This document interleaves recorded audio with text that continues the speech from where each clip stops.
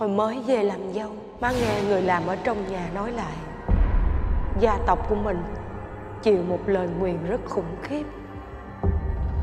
Lan, con gái bạn thân của má ở trên Y đến đón con lên đó chơi một chuyến. Bạn gái con hẹn lên sao để con bất ngờ.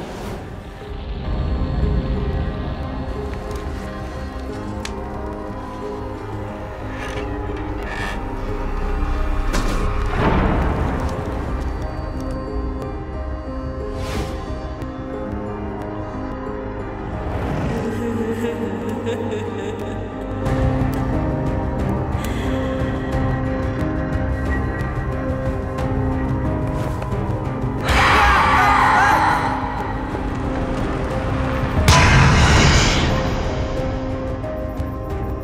cho tôi đi nhờ một đoạn đường có được không?